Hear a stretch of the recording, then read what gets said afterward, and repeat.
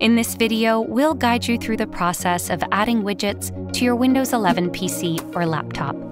Let's dive in. First and foremost, activate the Widgets button on your Windows 11 device. Press the Windows key and I to open Settings. From the left sidebar, choose Personalization. Then scroll down on the right side to find Taskbar. Once located, select it and toggle the switch next to Widgets to enable it. Now that the Widgets button is enabled on your Windows 11 device, let's proceed to add widgets. Press the Windows key and W on your Windows 11 screen to open the Widgets pane.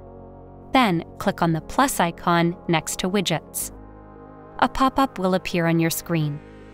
In the pop-up, you'll see a list of available widgets under the Pin Widget section choose the widget you want to add from the list on the left side. Then, click on the Pin button on the right side to add the widget to your pane.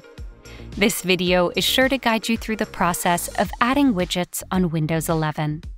Make sure to subscribe to Guiding Tech and discover one of our specially curated videos tailored just for you.